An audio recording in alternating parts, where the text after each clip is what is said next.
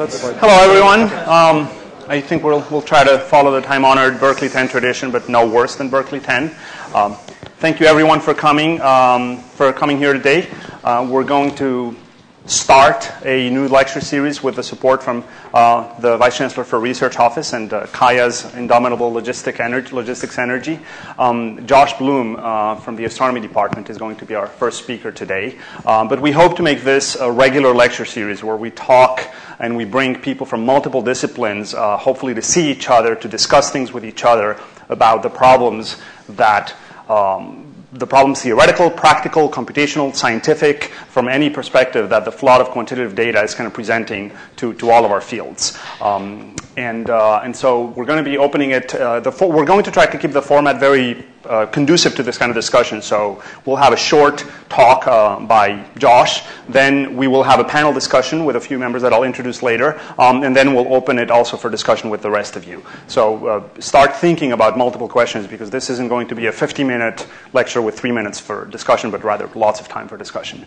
Um, so Josh Bloom uh, is a, it's an honor and a pleasure to introduce him. He's a, a good friend and a colleague. Uh, Josh is a professor in the astronomy department who has done some incredible work. Um, and uh, you'll see some of those highlights today. Um, Josh uh, got his master's degree at Cambridge, his PhD at Caltech, uh, has a CV the, the, the, size of the size of a phone book. Um, in um, he won the 2010 uh, Newton Lacy Pierce Award from the American Astronomical Society.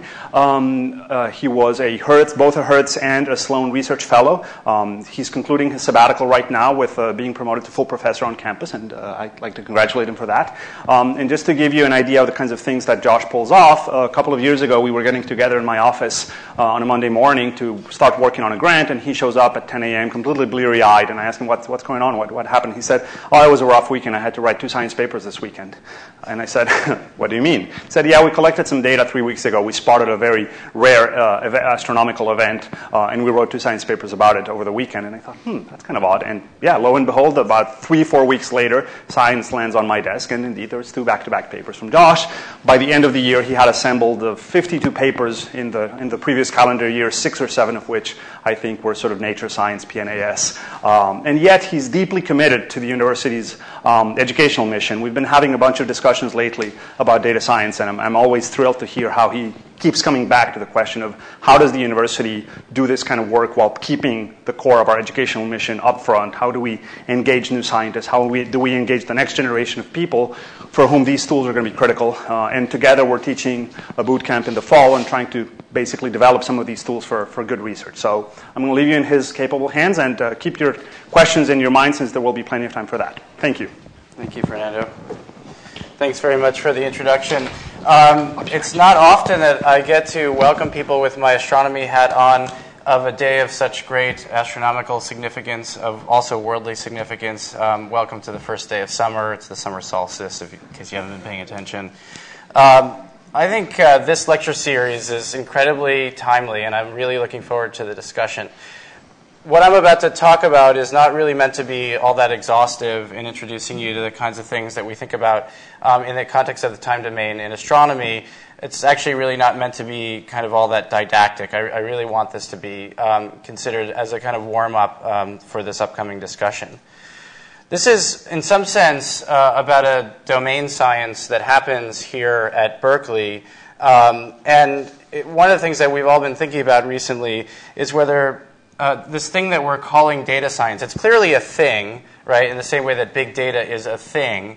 Um, but you know, is it a intellectual endeavor in and of itself, or is it sort of a collection of hodgepodge tools that enables data science to happen? And we hope over uh, this lecture series, obviously not going to answer this in the next uh, 45 minutes or so, um, that we get a chance to start thinking about that collectively and have you as a, a community kind of contribute your ideas to this.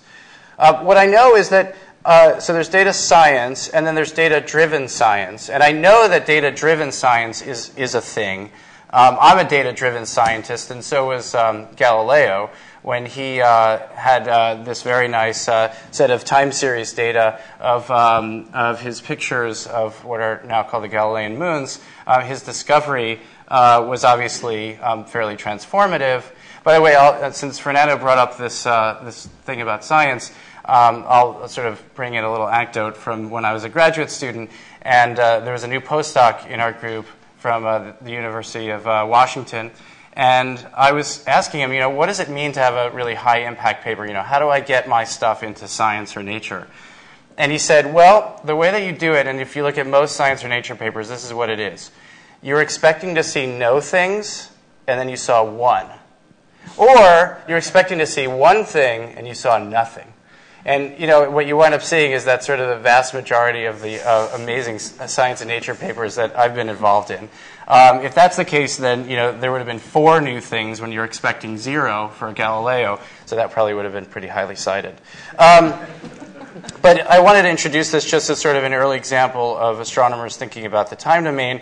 There's obviously some grand challenges, not where we're kind of pointing our uh, sort of new instrument in, instead of pointing it at the horizon and then saying, oh, let's see what happens when I point it up, which is what Galileo did, right? Telescopes were invented for the purposes, military purposes. Um, and he said, what happens when I just point at things that, that should be round and shouldn't have anything else around it? Um, and he found, you know, something that was completely unexpected. There are grand challenges in the time domain um, in the context of being a data driven scientist that are obviously important. Um, for instance, finding an Earth like planet uh, in a one year orbit around a sun like star is one of these grand challenges, and the race is, is, is really on.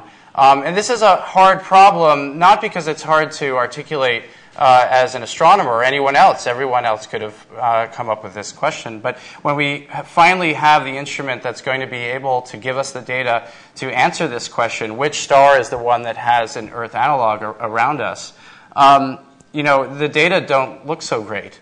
Uh, and they look wonderful if you sort of zoom out, but when, if you look at the, what's, what, what the uh, sort of units are on the y-axis over here, this is in uh, parts per million. So this is changes of brightnesses of stars that are basically far away from us within our own galaxy.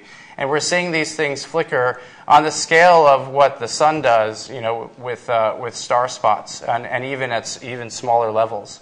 And finding uh, an, Earth move in front of that sun for just a brief period of time, waiting another year and having it come in front again, and then waiting another year and having it come, come again, you're looking for signals of this occultation that are at a similar level to the amounts of just sort of the ordinary ripples that you get from ordinary quiet stars.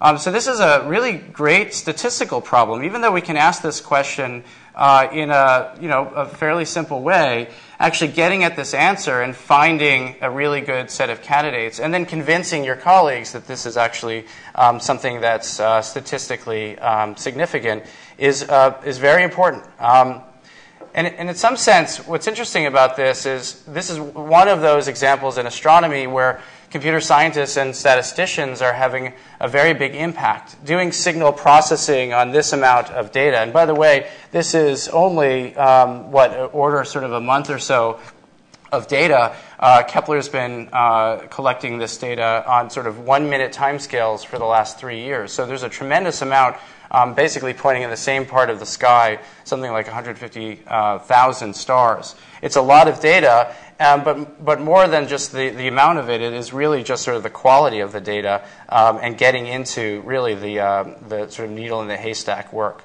Um, so, you know, who's going to make this discovery, I think is an interesting question. Is it going to be somebody from a stats department? Is it going to be somebody from a computer science department? And computer science is important in this context because you're having to do trials in, um, in frequency space, uh, millions or billions of trials on a, on a single object. Um, and if you do all those trials, you know, that's obviously computationally expensive. And now a number of different groups who are looking at the same data are sort of starting to bring in um, GPUs to try to speed this whole process up. So, will it be an astro person, a stats person, or will it be a group of, of, of astrostats and CS that, that actually kind of make this grand discovery that convinces everyone they have it? Um, and, you know, I think a, more important question is does this actually really matter um, what that group is? But what's very clear is um, around the world, um, stats and uh, computer scientists and astronomers are coming together and trying to answer these grand challenges. In, uh, in fundamental ways that push really the envelope not just of astronomy, um, but of these other disciplines. So there is a meeting that's ongoing right now um, at, uh, at SAMSI. uh, which is uh, the Statistical and Mathematical uh, Science Institute um, in the Research Triangle. And they are asking this question right now about, about this data set, so maybe we'll hear something about it in about a week or so. Uh, this is not uh, really um, that close to the work that I do in astronomy. Um, I've been uh, interested in, um, in finding uh, black holes and looking at the ways in which black holes um, belch and burp and, and change their brightness. Uh, the, the hard part here is not, not sort of finding one needle in the haystack, but actually identifying um, in a statistically rigorous way where you're going to use your precious resources to do follow up spectroscopy, as it's called, of um, all the different candidates in the sky. Um, so uh, here's an example of how a black hole um, on the other side of the universe winds up um, uh, belching and burping. Uh, it's a, a, what we call a light curve. It's similar to the one you saw before, but now the uncertainties are much, much larger. They can be of order 10 or even 100% of the actual measurement, um, which gets us into another interesting statistical regime. And you see that the data is not regularly sampled anymore on one minute timescales. It's sort of sparsely sampled, um, it's irregularly sampled, and you notice um, we've observed this in five different uh, uh, filters um, essentially different colors, and you notice sometimes we have some colors and sometimes we don't have other colors. And what, um, what others uh, realized is that the way in which quasars um, sort of burble along is, uh, can be described as a damped random walk in a statistical sense. And so we asked the question given a large catalog of light curves of everything on the sky, um, can you identify and separate out the, um, the stars, which change in different ways or don't change at all, and, um, and all the, the burbling black holes? And so this was um, bringing in um, some uh, interesting uh, uh, Bayesian theory uh, to come up and ask this question in the way um, I'll try to phrase it uh, as well as I can now. Essentially, given a light curve of a source, is it behaving like a damp random walk? Um, and then if you can couch that in the form of probabilities, uh, then you can um, see how well you're doing on known data sets. And what we're able to do is just in the time domain, in a, in a, single, um, in a single color, we're able to separate out known quasars or burbling black holes um, from, uh, from stars. And we had a really nice uh, separation where if we make a cut somewhere between the, um, the blue and the, the red curve, um, we'd get a very nice uh, complete sample and an almost, uh, uh almost a, 100% pure sample. Um, so that was a very nice example of bringing in um, a whole body of stats knowledge that I actually didn't have myself. I was fortunate enough to work with somebody named Nat Butler, um, who was a very stats minded astronomer. Um, and uh, he was able to bring some of these tools to bear. But you know, even if I was able to articulate that question and say, can we use uh, the time domain only um, to figure out what, uh, what's, a, what's a quasar and what's a, a star, um, I, I was not trained in a, in, in a way that would have um, allowed me to answer that question in the way that we were able to as, as a team. Some of the other things I think about trying to um, classify stars and different types of events um, across a very large and ugly taxonometric tree that's been set up over the last 150 years or so of variable stars. There's about about 100 different types of variables, and sometimes things look uh, the way that we observe them just because of orientation effects um, and you know what sort of uh, wavelengths we're looking at them. But sometimes they, they appear to change and act strange because of real intrinsic physical effects. The, te- the taxonometric tree that describes how um, variable stars are sort of connected to each other is this interesting hodgepodge of um, uh, really sort of physically motivated statements and um, really sort of empirically uh, motivated statements. But anyway, um, what you see here on the right hand side is an example of four different light curves of different sources. Again, some of these are actually pretty regularly sampled, but you notice the second one from the bottom, so called Beta lyra, doesn't have very good sampling um, at all. And you also notice the very different time scales that we operate on. We've got things at the bottom from uh, changing on, on, on, sort of uh, hour time scales up to days, up to months, and up to year time scales. So astronomers are really working on all these different time scales it, would be tempting to say um, that if I just had a, a, a, really good template library of all these different um, variables, all I'd have to do is just do some matching. The problem is that every star is variable in its own way, and even if it truly belongs to a certain class of stars, when you get into the nitty gritty, perhaps if you observe it with Kepler, you notice that they're all different, right? It's sort of the, the Anna Karenina of, uh, of, of how the stars work, right? You remember that all happy families are all happy in the same way, and all unhappy families are all unhappy in their own way. Um, so all stars might actually sort of fit into one nice class, but when you really get into the nitty gritty, every single thing is different.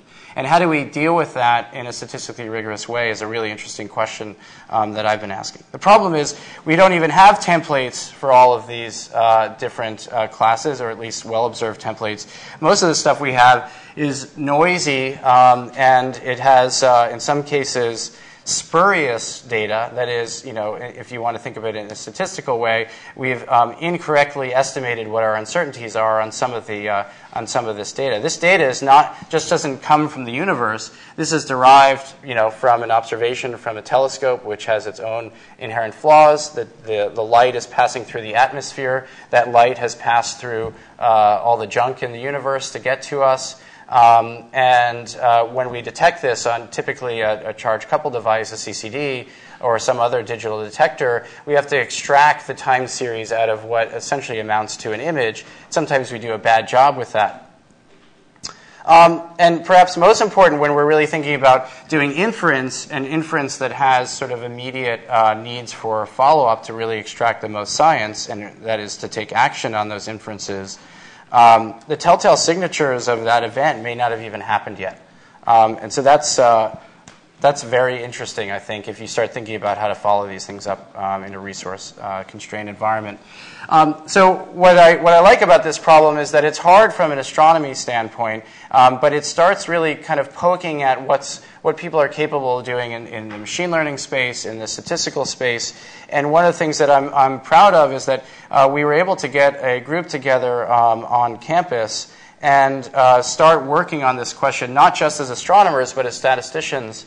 Um, and uh, there's a PhD that's coming out of the group um, from James Long. This is one of the figures from his thesis, where he wound up showing that if I train a classifier on, uh, on three different classes of sources on the left hand side, where I actually know the answer, and then I apply that same classifier. This is basically making hard cuts in two different, um, in two different feature space uh, uh numbers.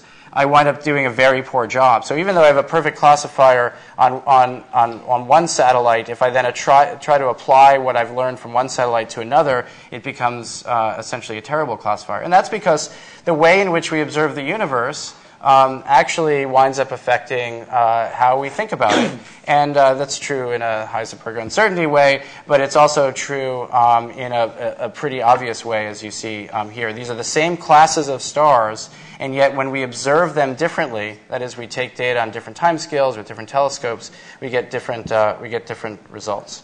So I'll skip through this. The last thing I just was going to point out um, is uh, sometimes we really want to take action on the inferences that we're meant to, to derive out of the data. We have um, on the left hand side an example of uh, two so called discovery images that were done by um, some machine learning codes that my group built up, uh, where we're trying to basically find that thing that's in the center. That's a new, those are in both of these cases new supernovae, and try to do this in an automated way. And then use all the previous um, history from before uh, we observed that part of the sky to later on to then come up with a very quick statement about what we think this is. And if it's a variable star or it's um, some other type of transient event in our own galaxy, different um, groups within these large collaborations may get excited. But for the collaboration um, that I've been working most closely with, we were trying to basically follow these things up as quickly as possible. So um, here's the hard part is that when you start taking people out of this sort of real time loop and, and, and, trying to do all this inference, you have to be really careful not to, to sort of blow all of your resources on things that just turn out to be mundane, right? You really are looking um, for that next um, high impact paper. So find the supernova and do it quickly. So don't wait for a year and then go back and look at your data archivally. Then do follow up, but don't follow up everything. Be judicious about what you follow up. Then do some inference, um, given all the follow up data that you've gotten, and then you know then maybe you win a prize. Um, So on the left-hand side, we've got questions um, that, uh, that I'm interested in in the context of time domain and astronomy. What's the what is truly new in the sky. We call that discovery. We're doing distributed um, processing uh, at NERSC for that, um, and, uh, and, and, imbuing some machine learning techniques as well. What's the origin once I found something and said, aha, this is interesting? Again, some, we're trying to do machine learning at scale, um, and it's only going to get worse as we get more data. And then, uh, you know, where are the quasars, where are the planets? And there we have to bring in some pretty hardcore um, Bayesian stats modeling and advanced signal processing to answer this stuff well. Um, I don't work all that closely uh, with, uh, with others in other domains. We're starting to um, think about working together, and we, we recently were awarded a grant to start thinking about how um, those types of light curves then start applying to um, other domains. Uh, uh, and so seismology and neuroscience are, when I, at least when I look at those graphs, I say that could be a variable star of some sort. So there must be something that we can do together. And it's pretty clear we're not going to be able to share much across the domain in terms of influencing each other's science. But um, the techniques that we need all seem to have some sort of commonality.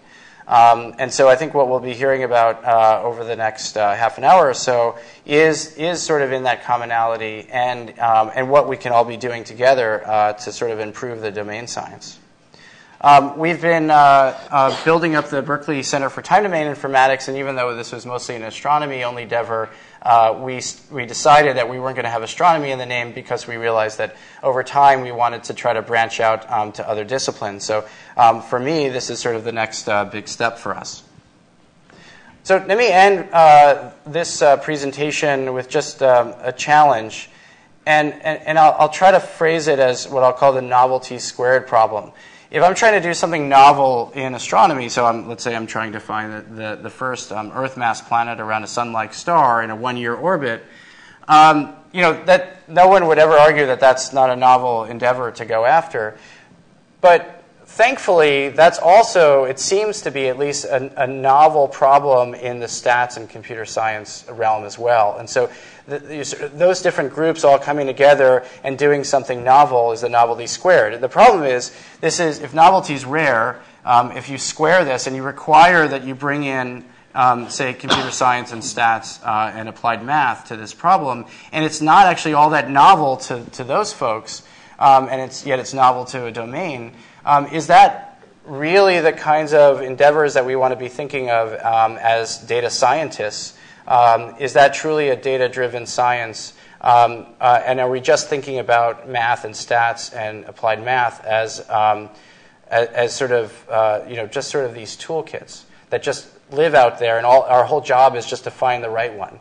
I, I would suspect that some of the best things that are going to happen um, on this campus are not going to be because you know, somebody from the computer science department teams up with somebody in, in, in, seismology and helps the seismologist figure out something they didn't know before. It's going to be because the seismologist found a type of data and a type of question that wasn't easily answered by existing theory um, and existing frameworks um, within, say, statistics.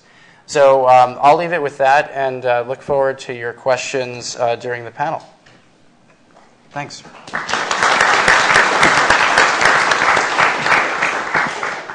So thanks a lot, Josh, for, for that talk. And uh, so now I'm going to very briefly introduce our, our three panelists, and we'll try to spend uh, a few minutes uh, um, in, in the panel discussion. Then we'll open it to the floor. Um, Kaya asked me to remind you all that uh, right after we wrap it up here, there's going to be tea and coffee and cookies outside, um, that, uh, so that you can spend some time maybe um, talking amongst yourselves. We really are trying to build up a, a, community here on campus around these questions. So we have today uh, Philip Stark from uh, the statistics department with us, uh, Michael Silver from the Vision Science and Neuroscience uh, Vision Science program at the Helen Wills Neuroscience Institute, and Richard Allen from Geophysics and Seismology. And uh, rather than speak anymore, I'd like to ask each of you maybe to spend a couple, a couple of minutes telling us a little bit about the kinds of problems that you work on and that interest you, and trying to see how some, some of the things that, uh, that Josh said may tie into either ideas that you have or problems that where you think you could contribute something. Um, and I'd also like to ask you if you see anyone in the audience that you've either partnered with or that you would like to work with at some point. Uh, and maybe consider uh, either because you think you can help them or because you think they can um, help you out. Uh, and, and maybe try to talk to them afterwards over, over tea and cookies. So Um, do you want us to focus on uh, things to do with time series and spatial series and, and so on? Is that the focus? Today? Sure, sure, on, on, but, but not necessarily. I mean, I, I want to leave it up to up to you. I, I don't want to be driving the conversation. Should I start? Sure. um, so uh, I had mentally prepared to talk about time series and spatial series, so I'll go that direction. Good. The kinds of problems that I've worked on uh, that involve this sort of tool are primarily in physical sciences, in seismology, geomagnetism, uh, helioseismology, um, cosmology, microwave cosmology, and then some things in Fourier transform infrared spectroscopy uh, for identifying rock mineralogy. So a lot of the problems, what they have in common is you, you have a signal that isn't necessarily stationary, but you're trying to recover some stationary property of the object that underlies it. Um, so, for example, you want to know something about the interior structure of, of the Earth, um, but what you're observing are these transient things that happen after an earthquake. Um, and what the, the data reduction that's involved is partly trying to separate sort of the stimulus from the response, from, from the, the, the the system that is then responding to the stimulus. Um, in, and a lot of the, the, difficulty in this is somehow simplifying the, the, physics to the point that you can actually do something um, and then doing that sort of separation of, of what for you that day is signal from what for you that day is noise. In seismology, traditionally, the, the data reduction problem was really uh, addressed very, in a very draconian manner. Um, we just saw Josh put a uh, uh, seismogram uh, up there, and what, the only feature that people cared about is where did the big wiggle start, right? So yeah. you reduce this enormous time series to, to one piece of information. Where did the wiggle start? Um, so one of the things I'm worried about is uh, to what extent is that is treating that and using geometric optics as the approximation for the physics going to give you a biased uh, view of the world. Um, and then as people started to use more other information, so another thing people use is, well, let's somehow look at how the Earth as a whole responds rather than this wiggle and look at the normal modes of the Earth the normal mode frequencies of the Earth. They do that same thing for the sun and stars. So again, that's this enormous data reduction from these, these time series measured in different spatial places to try to turn it into a time series of spherical harmonic coefficients and then do Fourier analysis on the time series of spherical harmonic coefficients. Um, and again, sort of the goal is both, both data reduction to get to a manageable uh, amount of data and also to separate the response of the system from the stimulus. Um, other data reduction problems on this kind of a massive scale that I've worked on in, in geomagnetism. Um, this is kind of an entertaining story. The, the Danish uh, Meteorological Institute flew a satellite called Orsted. It was launched in 1999 with an expected 14 month mission. It's now been collecting data for 14 years instead of 14 months. Um, but the community, when it first came out, wasn't equipped to deal with the data sampling rate that the satellite was producing. It was producing roughly 100 hertz data, and people wanted to deal with 1 hertz data. So, how do you go about reducing the effective sampling rate without throwing away information and perhaps gain some robustness in the process so that you know, um, you know gamma ray bursts or this or that aren't going to totally um, uh, trash, your, you know, trash your signal and affect what you're doing? So those are some of the kinds of, things that I've been working on. Cool. Michael? So I work in the area of human cognitive neuroscience, and uh, many people in our field are interested in fundamentally how the brain works, how the, what sort of principles and mechanisms the brain uses to represent and process information. And in the last couple of decades, we've, as a field, developed a lot of uh, measurement tools and experimental techniques to measure brain activity for, for very, getting very large data sets of brain activity over a wide range of spatial and temporal scales. And I feel like what we really need in our field is theoretical models and conceptual insights to be able to extract patterns from these data. And um, there's two kind of general areas where we need to, we, must work with other fields and obtain insights from other fields in order to be able to make progress in, in our own questions. And one is working with people who've studied perception and cognition, so psychologists and psychophysicists who've uh, characterized the basic principles of cognition and perception. And this gives us tremendous insight about what sorts of patterns to look for in the brain and also really helps with experimental design. So, unlike some of the other fields here, we, we are not relying on uh, you know, events like earthquakes and supernovae that happen outside of our control. We have a lot of experimental control and can intervene in the system. And we can use our insights about how perception and cognition works to design experiments to evoke very particular patterns of brain activity. And this allows us to get a handle on these really enormous data sets uh, and, and, not just get lost in uh, so much data, not knowing what sorts of patterns to focus in on. So that's one key component of working with other fields uh, to, to, analyze and work with big data sets. And in others, we just don't know the fundamental neural code, how the brain, uh, what algorithms are used by the brain to process information and to move information around to different areas. And so here, it's very critical for us to work with statisticians, computer scientists, engineers to have analytical tools and statistical measures to, again, be able to take these enormous data sets and identify patterns, test to see whether the brain uses these patterns or not. So one thing that's unique to our field is we're presented with this highly adapted, intricate, complex brain that evolution has been working on for a long time, and we're trying to uh, unpack the sort of the history of evolution, how it's given us the brain that we have. And so uh, we don't know a priori what the design principle should be or what the algorithm should be. And so it's very important for us to work with other fields to be able to gain computational insights that we can then apply and test to see to what extent they explain uh, brain function and brain principles. Do you guys want to check your mics?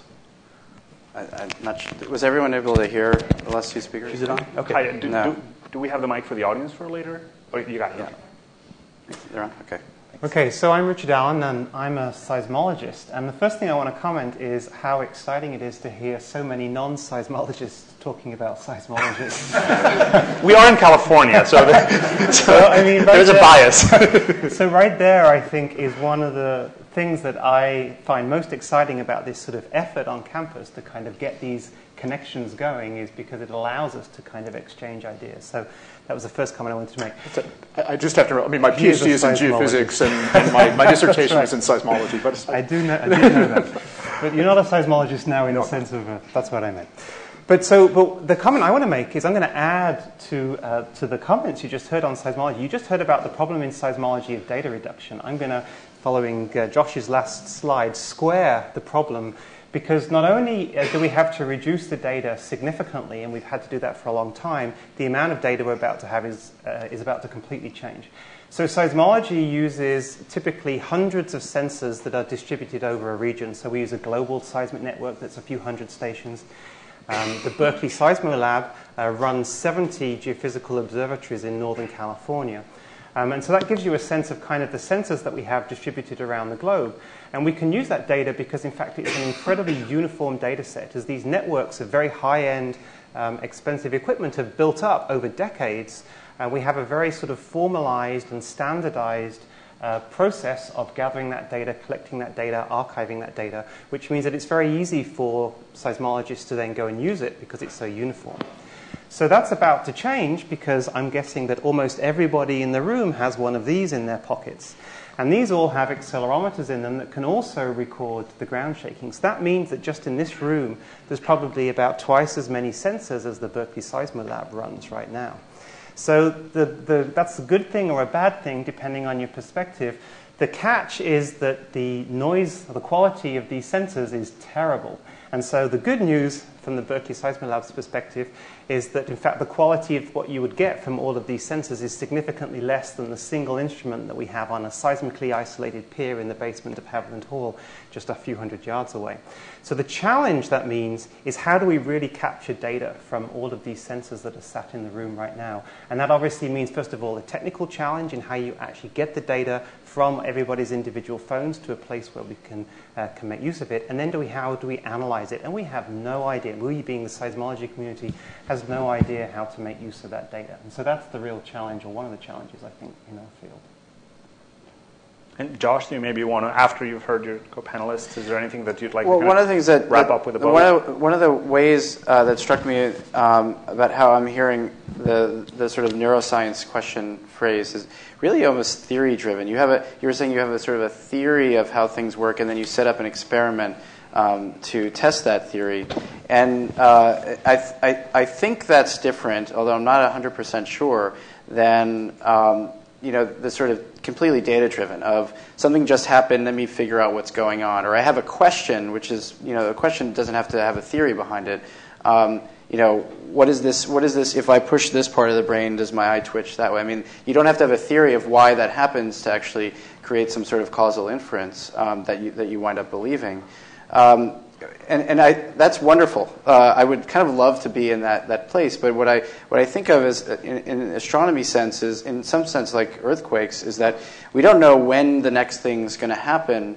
And um, all we can be is reactive. And the best thing that we can be as scientists from a data collection perspective is set up more and more sensors with you know as best a quality as we possibly can to just try to capture when something happens so that in in the future we can go back and maybe the future is over the next couple seconds or the next 10, 10 years to go back and try to reconstruct something that we'll call you know physical that will actually after the fact create a theory about why that that actually is. Um, and, and so I, maybe this is, I was thinking this is fairly unique to astronomy in the sense that the best we can do is just collect photons, right? And the universe decides they're going to throw these photons at us, and you know, silly for us to not put more detectors on them. You know, silly for seismologists not to have sensors all over the place because all, you can, you know, unless you can go in and start drilling well, I guess you could do fracking, right? But that's another uh, another panel discussion. Um, you know, you're not able to basically create experiments that test theories.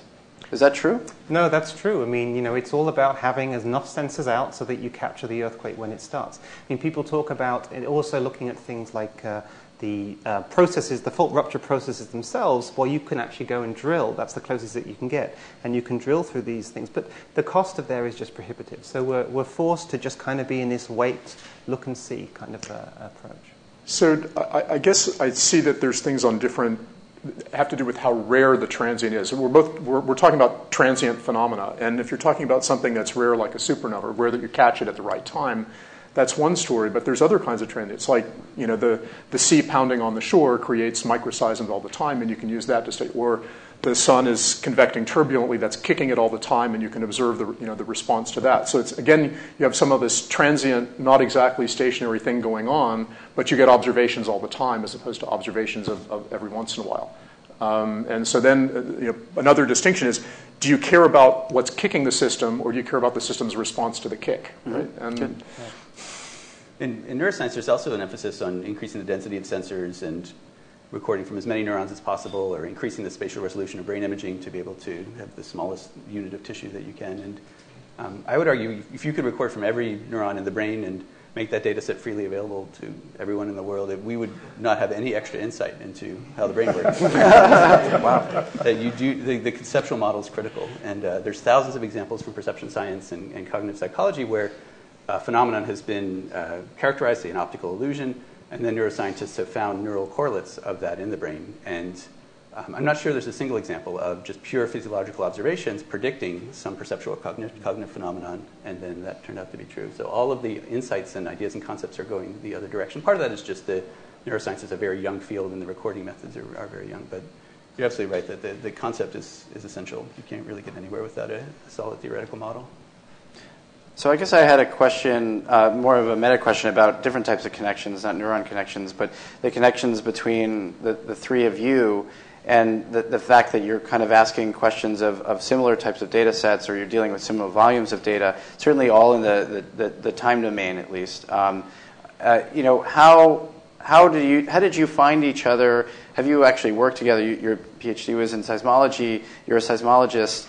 You know, we have we have a significant issue on in the Berkeley campus in that everyone is awesome, uh, and yet everyone tends to be fairly siloed. And it's not until we recognize that we have kind of a, a, a need for somebody, you know, in say the stats department. I, I, I, know there's a stats way to think about this, but I don't I, I, I can't do it myself. Until we sort of articulate that need, I, I've I found it pretty hard to just sort of have the kind of water cooler effect where you wind up finding each other um, organically, and I suspect others um, maybe feel the same way here. Uh, it is it's, it's an awesome place, and the people here are awesome. But it, it, sometimes feels to me that we're kind of lacking the, the connective tissue, and, and a bunch of us are thinking about how to just sort of you know kind of create those connections more organically. So maybe you could I, I, I, don't want to put you on the spot. Have you ever talked about you know sort of problems together, for instance? So we have. We had. A, I was on a committee for one of uh, the students in the statistics department, but I think there could be a lot more. And and this is comes to. I wanted to comment on your last slide, the novelty square challenge. That, of course, is a very exciting prospect, and I completely agree. That's what we should be aiming for. But I don't think that that is all that we should be aiming for. I mean, I think that there are many problems that domain scientists need tools that people in the statistics department would be find very mundane and very boring, but still we have to discover them, right? And so what we need to do is come up with some sort of framework where we can connect people with the tools they're looking for. I mean, right now we could use tools for our analysis, we could use technical tools for our data collection, and we need to create a way that we can uh, identify those, make use of those, and I think that that process would then lead to the novelty square type problems when you suddenly realize that you've run out of the mm. kind of tool that you want. And so for me, as I think about this, I think of this being something like what the, the role that the library pl- has played for the last hundred years, right? When you want to go and dis- uh, discover something, you would go to the library. Well, we need that kind of infrastructure to be able to find tools and technologies. Uh, so, since we're among friends, including our friends on the internet who will be watching this later, um, I'll, I'll, make some rude comments. Um, I, I, think that we really are at an interesting tipping point because up until very, very recently, the attitude that I saw among physicists, cosmologists, um, astrophysicists was largely, you know, first of all, axiom one, the physicists are the smartest people in the room. Um, axiom two, you know, whatever comes up in a physics problem is physics. Um, and so the, the, consequence of this is there's really no reason for physicists to talk to anybody else about what happens in a physics problem.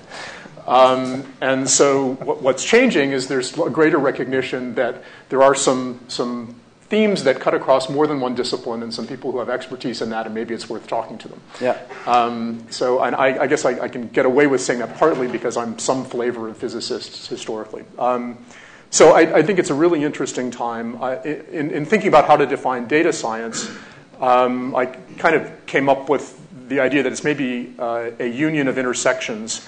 Um, so if, you have a tool that's useful in more than one you know, data oriented discipline, so you have the, it, it, those tools that are, that are in the intersection of two or more disciplines, and then the union of all such tools. Right? That somehow, if it's useful only in one place, then maybe it really is just physics. Um, but if it's useful in other places, then maybe it's data science. Maybe it generalizes. So. So um, yeah, some of my best friends are physicists, so I can also say that the, the, this cosmologists well, too. Yeah. Um, I so I think you're absolutely right. We we need you. We need your cohort, right? We need statisticians and computer scientists like never before. But I, I think the novelty square statement is also that I believe that you need us as well um, because we're creating you know real world problems. Although we're astronomers, not that real world. Um, we're creating real world problems that that are novel, and and you you all need to um, start creating you know tools and frameworks and theories on, on your end that actually you know surface the novelty on our end and and I think you need us to basically give structure to what's what's important with the types of data we actually have so I, I completely agree um, let me elaborate on a little bit. So there's a couple of different issues that, that you know, come up in this. So first of all, I think you know, good applied statistics is statistics in service of a real scientific problem. You can't do it in a vacuum, and there's an awful lot of methodology that's developed you know, with the hope that perhaps someday there will be something that satisfies the assumptions of the methodology, right? And there's also a lot of misapplication of things because you just say, well, it's in a book, it's got to be you know, applicable. Um, so I absolutely think that you know, the best applied statistics is done in service of a, a, new scientific problem. That said, there are an awful lot of existing tools that, that could be put to good use in many applied disciplines, and I think we're seeing the same issues around the um, uh, academic second tier status of data science in some sense coming up in that, in that direction because an academic statistician who's devoting um, his or her time to simply telling you what button to push in an existing software package is not going to get a lot of academic credit. It's not an earthquake, everybody. is there a sensor? Did you pick up the vibration? Um, so, so it, it, you know, we don't. It doesn't help to be, you know, the slave or the, you know, someone who amounts to being the programmer for, you know, for the job. It doesn't help academically. So I don't know how to how to deal with that in such a way that science gets the best deal and the people who are helping also get a good deal. I, I want to just so, do a quick poll. yeah, well, I, I, just wanted to make sure that we, we also open it now also to the floor. So, so but, but if you wanted to well, let me do. Let me I, just for my own curiosity. How many would, would, in the audience would consider yourself a data scientist by whatever definition? Okay, and how many of you um, would uh, consider yourself a data-driven scientist? Okay. How many of you would say that the work that you're doing is inherently multidisciplinary? It's a pretty good, pretty good mix. I think we have a biased sample here. Certainly. Uh, so that, that was just my own curiosity. So uh, let you, let you Yeah, no, I- we also wanted to make sure that we leave we leave time, and as I said, there will be coffee and tea and cookies outside. But uh, but we have we have a great team here. I don't know, um, uh, Michael. Also, in trying to make sure that the we, we're sort of four out of five physicists of some variety in the panel, and trying not to drive the stereotype any worse than we already have. uh, also, wanted to give you a chance to, to comment before we open it to the floor, To comment on uh, if, if you have anything else. What's that? uh, on the question of, of The arrogance of philosophy physicists. That's the, apparently they're the smartest ones in the room, so I'll, I'll play the other. No, not on that question. Hopefully, uh, but. Uh, No, I'm happy to take uh, comments from the audience. Yes, and, and so please, if uh, there, we have a microphone, so if you have any questions for our panelists, please, and if uh,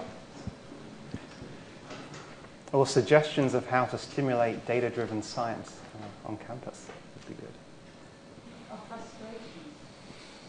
Yeah, so for those of you that raised your hand, uh, you know, who said you were interdisciplinary, how did you find somebody who, you know, is your, your, your counterpart on the other side of that, of that discipline? and, and please, when you, when you ask a question, do tell us who you are. Part of what we're trying to do here, as I said, is build community. So don't simply ask a question. Tell us who you are on campus and what department you are, so that we can find you later. Oh, oh, Fritz, hold on, Fritz. That- w- Um, hello, I'm Sean Nulon. I'm actually visiting from I'm visiting from Stanford. It's, it's a question from Michael. Um, I found your comment very useful about uh, essentially if they got the output from every neuron in the brain and put it together in a data set, we would discover perhaps not as much as we think we would discover. What, therefore, do you think of, say, the Henry Markram project that the European Union has just invested a billion euro in?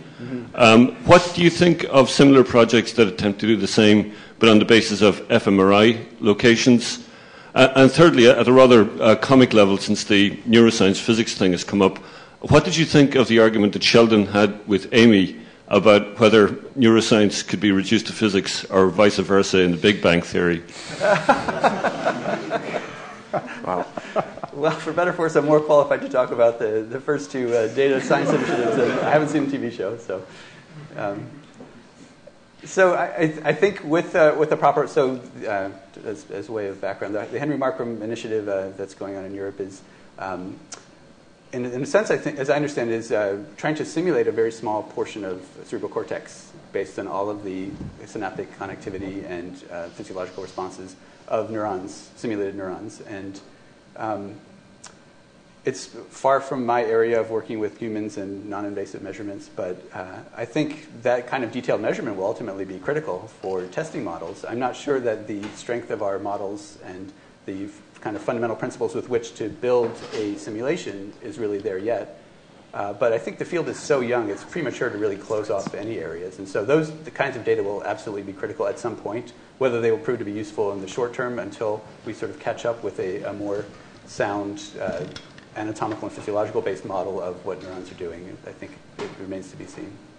Um, and there's, there's a parallel um, um, initiative that, that was announced recently by the Obama administration, and it's a very similar kind of question about well, what we really need to do is now take these methods and record from as many different sites as possible, and then somehow the, uh, the answers to brain function are going to uh, spontaneously emerge from these, uh, these large data sets with these very finely spaced sensors. Um, and so I'm not against collecting those data. They will uh, ultimately be very helpful, but uh, it's, it's unclear. Um, they, they may be sort of in stasis for a while until the theoretical side catches up. Fritz, Yeah. and again, please tell us who you are for those of you. who Yes, don't I'm know. Fritz Sommer. I'm from the Redwood Center for Theoretical Neuroscience here. And um, so, uh, yeah, so, so uh, I just want to address also the question how do we go about establishing data science here on, on campus? And, and I think one interesting thing is really that data, I mean, it sounds a little bit dry, dry data science. And also, if we then say, well, people out of frustration will turn to it. So, but I, I think it's really what is very exciting is that it's, it's a common currency that really kind of uh, brings now together methods driven research and really problem driven research. And um, an interesting way, I think, also to establish it is to, to popularize the problems that people have in the field. So, uh, so, so for example, at the Redwood Center, we are, we are holding every summer two, two week summer course for students that are quantitatively trained and have usually not too much idea about what neuroscience is. And we explain them the problems. Of course, also the methods that we use right now. But what we hope is that we can actually bring interest into these other domains and make them think more broadly about science and, and, and start to think about neuroscience. And I think this is also a really a, an opportunity we should use. So, so, not only trying to popularize our methods that we have as statisticians or, or theorists, but also think of, uh, you know, if we have a, a, an interesting science problem, how can we actually communicate that, that into other communities?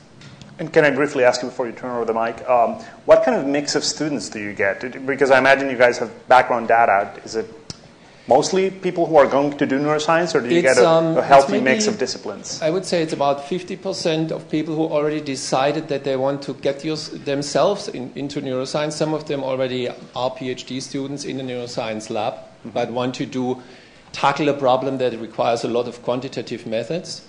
And the others are, they just come from physics, computer science, statistics, mathematics, and they are just somehow excited. They see, they see this as, a, as an area where, where they can apply their skills and interests.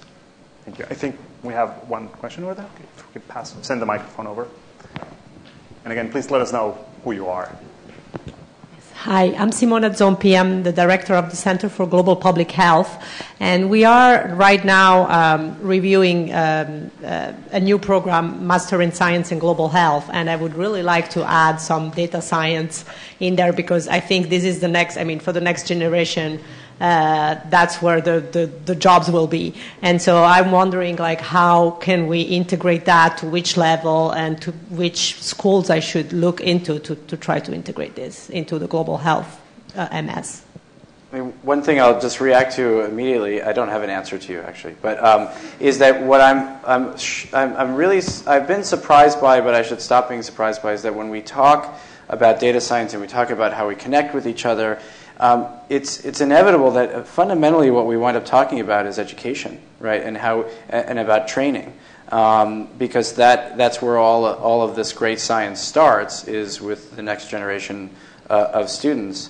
Um, and, and, you know, it, it, it's come up, right? We, we've just now brought it up. Um, and, and so I, I think it is as, as fundamental in, in thinking about building communities amongst, you know, established researchers uh, we also want to be thinking about building those communities amongst, um, you know, amongst the students and amongst a population that doesn't know any better yet that you have to be siloed and you have to, you know, sort of tag yourself with I do this, this, and this so that you can get a job in a certain department.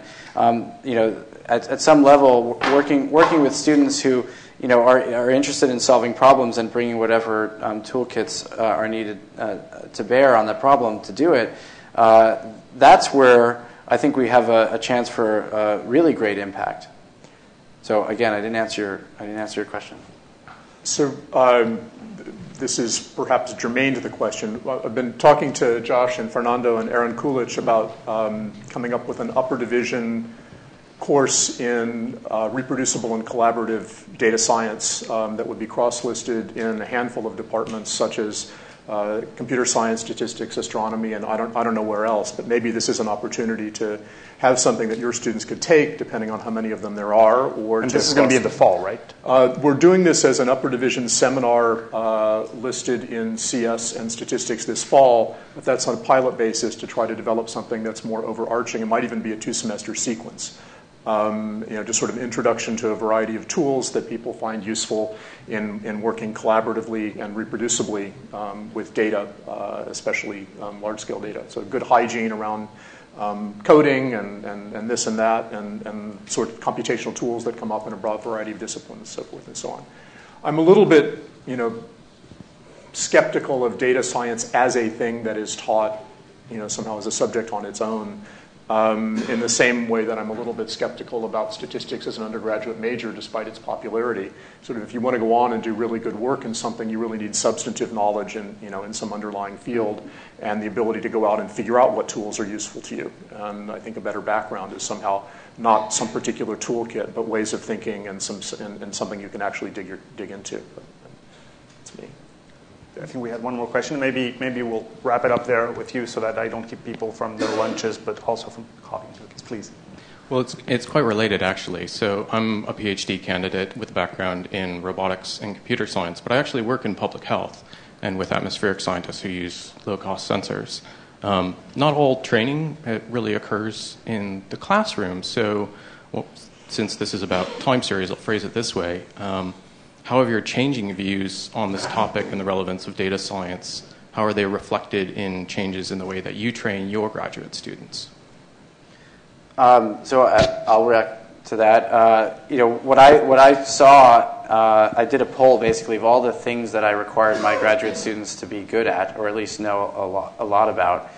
And, you know, it was a whole bunch of different types of databases. It was a whole bunch of different um, programming languages, uh, it was domain knowledge. Um, and I know I wasn't taught that way, and so with my students uh, at, the, at, the, at the graduate level, the ones that I'm mentoring, um, a, a, large amount of their training is certainly not happening in the classroom. It's saying, you know, now we need to talk about how we're going to actually store all this data and move it around on network and do parallel computing. Um, you know, some of it's by osmosis, some of it's directed. But the, the requirements to do the things that I do in, in, my, in my lab and in my work are quite large. And um, one of the reasons why I started um, this uh, Python bootcamp uh, with, with Fernando and company is the recognition that I was asking people to come into my lab who, you know, who knew Python, and it turns out no one in astronomy was being trained in, in Python, and they didn't have time as an undergrad to take you know, a bunch of computer science classes. Um, and so part of the, the, the, reason for the creation of the boot camp was essentially better put my, my money where my mouth is. Um, and or my time where my mouth is. That's the same thing, actually. Um, and uh, and we started that as essentially a labor of love, right? So we don't get teaching credit for this, but we're expecting something like 300 students um, in the fall for this. And then we jump into a seminar class to teach people how to be data-driven scientists in the Python language, just because I need my students to know how to do that. So one of the great things about being at a, at a, at a university and, and trying to do research is you wind up figuring out where the deficiencies are um, at the undergraduate level when you wind up seeing sort of a, a cohort of people coming in, not with the skill sets that you think that they need. And then you can just create classes that get, you know, get to them early, not the same people, but you know, their, their equivalent. So um, it's had a tremendous impact um, on the way uh, that I teach and, and what I teach. So do we have, yeah, if we have any quick last words from you guys, um, by all means. I, I, thought it was very interesting your comments about education and statistics. If, if I understood correctly, that uh, sometimes there's uh, you can get a very uh, solid knowledge of statistics, but it's important to be able to have a concrete field to be able to apply it to for it to be truly useful statistics. And uh, I would certainly rather see an applicant to our PhD program who was either a math major or a physicist than somebody who was an undergraduate statistics major. So in a sense, we have the opposite problem, I think, in the biological sciences, where there's a lot of very concrete knowledge, not much in the way of unifying principles in biology. And so people learn a great deal about the specifics of the system or the organism they're studying. Um, and that's a big part of our curriculum, classroom curriculum. Uh, and then for research projects, they're often very siloed in very particular model systems. Uh, and a lot of our students, and this this includes you know, myself and peers as faculty members. We've learned statistics as we went along to solve particular problems and learn programming that we need to do to get the job done. And we don't really have a broad foundation, and we don't really know all those areas that we've not been exposed to that would be maybe very useful for our problem. And I think we would all benefit from having much more formal uh, education in statistics and computing that's part of a graduate curriculum in neuroscience or biology as well, and maybe less of the actual facts about the uh, particulars in biology. I, I, I, didn't mean to imply that, that learning some statistics as an undergraduate was, was not a good thing to do. It was more the idea of majoring in it that, that, uh, that I'm, I'm a little bit. Yeah. As the chair of the stats department, I'm sure that you didn't mean so to just say a subliminal message to reduce the pressure on the major. but I, I, see how many students in our program have been attracted to the Python Bootcamp and other programs that you guys have, have organized. It's, it seems obvious that it's filling a need that's not currently being addressed by the curriculum as they are. If I can amplify this, because I think this is key, and in answer to the question, I mean, I think that we require our students to really have the domain knowledge in seismology and geophysics, and I think that that's really important, and I don't think that should ever change, and I don't think that will change. But at the same time, they're then left to pick up these skills, as Josh was saying, largely on their own. And so, how do we really facilitate uh, progression? It's by creating these kinds of uh, opportunities for them to plug into these, these tools that they need. Boot camp is a great example, but there could be so many more that we could do on campus, and I think that would make a, a huge difference to what we're able to do. Well, here, here's a plea perhaps to VCR. I'm not, not sure uh, exactly, but I, I would love to teach a graduate level introduction to statistics for physical science or for science, you know, more generally. The problem is we don't have, you know, we don't have the FTE, we don't have the resources. You know, if I'm teaching that, I'm not teaching something else. But it'd be a really, really good thing to do. I've been on enough um, physics uh, PhD committees, uh, astronomy PhD committees, computer science or electrical engineering PhD committees, um, the occasional earth science PhD committee to know that the, there's, you know, there's simple stuff that could really improve things, but they're not getting a chance to learn it. So. Just want to react to that. Um, what, what, I, what I wind up hearing is we say we've got this boot camp and you're starting a class and you'd like to have one FTE. What it's pretty clear is, I think, is emerging is that we need to have a formal structure on campus. And I don't know what that is yet, um, but I, I'm starting to see that this shouldn't be done piecemeal and you know, I just have to create this boot camp because, you know, otherwise I'm, I'm not really sort of living up to my educational mission. Um, I think if we were able to wrap around it and say the job of this entity is to do all of these things in a coherent way, where it's not just one boot camp and another one, but they're actually all sort of connected to each other, and it's not just you know one course at the undergraduate level, another at a graduate level, but an entire curriculum of of how to do this, and, and not necessarily in, in, its own right, but you know maybe in concert with, with other curricula. So I, I think what we're hearing is this sort of kind of burbling need for a, a, a larger structure on campus. I think we'll wrap it up with you so that. Okay, I'm Matthew Bailes from Swinburne University in Australia. Um, do you think one of the problems is that Berkeley encourages only new academics who are going to be leaders, and you don't have anybody who's like a really good scientist but doesn't want to be on the front cover of Nature or Science, and doesn't want to do work for somebody else to make their career better, but they want to be the, the PI on everything. And that you'd, you'd be better off having a, a more diverse section of academics you're hiring, some of whom are like really smart, but they're just not, they don't have the egos of, of some of the people on stage, perhaps. There's a, there's a great Gary Larson cartoon that, that has, it, it's an, another case of too many scientists and not enough hunchbacks. It's probably a perfect. A perfect Nana, why don't you take that one? Yeah. perfect. A perfect. As, as the one member here of this panel who is not tenured faculty on campus, uh, I, I, would like our university to react to that in a, in a, positive way. Let's put, let's put it that way, and who's not on the cover of Science or Nature. Uh, but uh, I don't want to keep you people uh, from your lunch, from, uh, from uh, tea and coffee and cookies, but I do want to thank Kaya and Cassie and the VCR for getting this effort started. This is the first one. We're alpha testing this thing. Please let us know uh, how this series can be made better. Help us. Uh, the, the email, the mailing list, datascience at calmail.berkeley.edu is how we're kind of broadcasting this information. So you can let us know if you think you have a great speaker in mind, a topic that needs to be addressed, somebody who maybe is visiting you from out of town and would, would be a perfect, a perfect person who's in town for a few days. We're trying to have these once a month uh, regularly for the foreseeable future. Um, so hopefully this is the start of a useful community and a useful discussion on campus around things that are both instrumental to the university but also a very broad scientific impact, I think is clear. So thanks everyone for coming and thank you for our panelists and our speakers.